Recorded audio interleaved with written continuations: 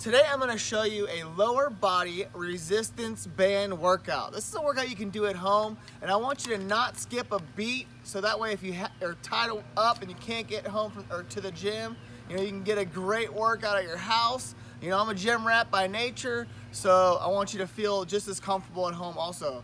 So in this workout, we're gonna be hitting our quads, hamstrings, calves, abs, obliques, and um, my name is Brent Kasmer. I've been doing this for around 17 plus years. And just want to give you a lot of the creativity that I come with on the road. You know so that way when, I, when I'm on vacation or when I'm out and about and I need to get a workout in and I can't get to the gym you know this is what I do. So I'm gonna start off with a single-legged leg press. Um, I'm gonna show you a couple ways to hook this on your foot. So what you're gonna do is you're gonna lay down you're gonna put the band underneath your body to help hold the resistance. I have, I'm working out barefoot, so you can either go put your foot in the handle, or if you feel like it's gonna slip off, all you do is take the actual rubber band and put it through the handle and it turns it into a slip knot so that way it cinches tight on your foot, okay? So that's if you're wearing shoes. So we're just gonna hold this resistance nice and tight and we're just gonna do a leg press, single leg. So driving through the heel. Same thing, what you wanna do also if you wanna double this up to make it twice as hard. You can hold these bands all on one leg and we're just doubling it up and making it nice and difficult. See good control. Here's my dog. What's up, Max? Go. Your bed. So you would do 15 reps. So we got about a 45 degree angle as if you would have the leg press. Driving it straight out, bringing it back, good control, good squeeze at the top, okay? So you'll do 15 reps there and then you'll just literally switch your feet around, all right? So you would just take this, put it on this foot now, like you saw, to increase the pressure. We would just do one, one leg.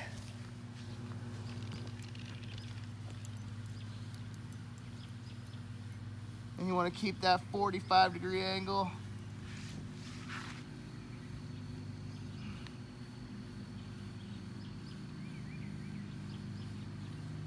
Driving through your heel just like you would on the leg press, okay? So 15 reps, good control. We're popping up. And we're gonna go to a single-legged leg curl. So I brought this bar stool over just in case I would need it.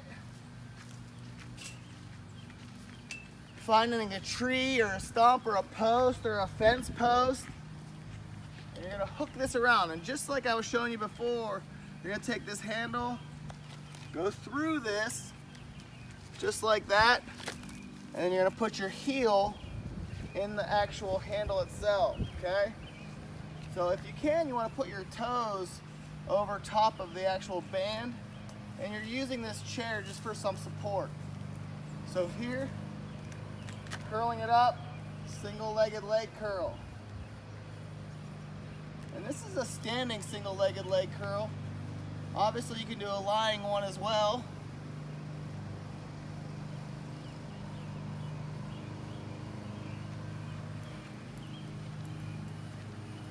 And as you can see, you can challenge yourself. I mean, just to give you an idea, on the machine, I'll, I'll single leg leg curl right around like 75 pounds. And right now I'm struggling getting that 15 reps in. And then you would just switch legs. So you just would put it around the other heel as well. All right, the next one's a side bend. So what you'll do is you'll take that both of those handles off again. You're just gonna walk out, nice wide stance, and you're just gonna reach towards the opposite side. Reaching over, crunching your oblique on this side, the side away from the band. Reaching straight out, so you're not reaching down, you're not going down with it, you're reaching straight across, crunching that oblique. Try not to twist. You'll do 15, then switch to the other arm, and do the 15 to the other side. All right, so that's our first circuit. So first circuit being the single-legged leg press, the single-legged hamstring curl, and then the banded side bend, the, the resistant band side bend. Okay, now we're gonna go into a split squat. So I'm gonna take this out here again. So follow me. So two ways to do this. First way, you're gonna put your ball of your feet up on, you want to elevate it. So for instance, I have a bar stool. If you had an actual chair, you can put it up on the chair. So the height, it's not that it doesn't matter. I mean, you don't want it higher than your hip, but if you had a chair, obviously that's what I would use as a chair. But since I got the bar stool, I'm just gonna use the bottom post. You want your back foot up. It's a Bulgarian split squat. So make sure your back's nice and tall and you're driving through the heel of this foot. Very little pressure in this leg, okay? So if you wanted to add resistance to it, you would just take this band, put it up over your shoulders, put your foot up on that, stay nice and tall, pushing through the heel. Now you just added resistance. If you want it more, you can hold it up. So the farther you get away from those bands, obviously the harder it is. So you would do 15, then you would switch legs and do 15 on the other leg. The next exercise is a pull through. This is one of my favorites. So we're coming over here, looping this through, grabbing the handles. You're gonna step through with the handles. It's almost like a kettlebell swing. I think that's what's actually replacing is kettlebell swing. You're gonna walk forward, keeping your elbows stiff, okay? So the biggest thing is elbows are stiff. You're just driving through your hamstrings and glutes. This definitely looks funny, but a very effective exercise. Boom, squeezing your butt, hamstrings. squeeze, squeeze. It's a great glute hamstring exercise, especially if you're learning how to kettlebell swing or learning how to stiff-legged deadlift. It's a great one to help you with that because it forces you to do the right motion. All right, excuse me, the last one in this circuit is a Pallof press with a twist. What the heck is that? My wife asked me that when she saw it on the paperwork too. So a Pallof press is you'll walk out, bands nice and tight. This is a great one to do on the cable. Um, this is one I do with clients that have scoliosis really bad and they can't do sit-ups. Any torquing on the spine's not so good but it helps them to get very good core. So you're standing here, wide stance, and what you want to do is punch straight out. So as you get that band away from the side, it is pulling so hard on this oblique right here. So bringing it in, driving straight out, and then you can add the twist. So in, out, twist. What you don't want is to come out and twist like this and coming in.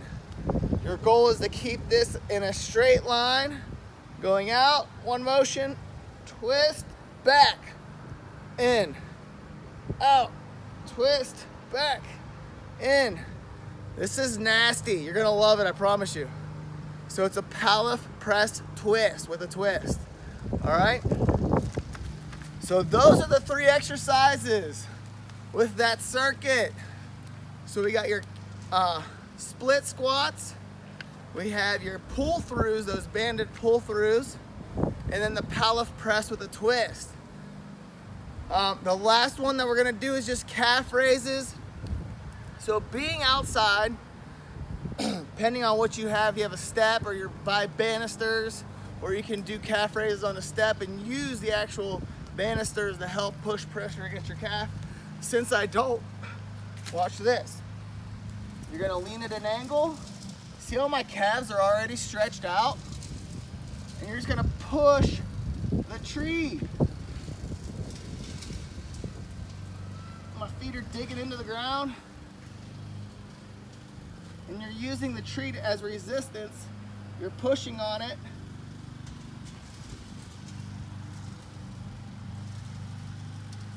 So 15 calf raises. So you just gotta be creative. So it's just creating that stretch on your calves to make that an actual calf movement. So pushing forward, pointing your toes back and squeezing those calf muscles is how you get a great calf exercise on that. So side jackknives. We're gonna take this right to the mat. And if you don't have a mat, you'll lay on the grass. So side jackknives, you're gonna be laying on your side. So what you don't wanna do is you don't wanna be right on your hip because you're not gonna come up. You wanna have your feet out at a little bit of an angle so you're more onto your butt cheek. So the cheek that's on the ground and you're coming up towards your foot. So breathing out, coming up. If you need to modify it, you can just leave one leg down and come up. If you feel too much strain on your neck, always support your head. Don't tear on it, but just coming up like that. And then the wonderful word, burpee. So burpees, getting down with it all the way to the ground and up. There's one type of burpee, so twat, feet back, up, jump. One modification is down, stepping back, stepping in, and up. The next modification would be using an something elevated. Obviously, the higher up, the easier. The lower, the harder. So, you know, do what you can, but challenge yourself. You're working out. Unless you want to make it difficult. So the last one's the side jackknife, burpees, and the calf press. So once again, this is a lower body at home band resistance band workout.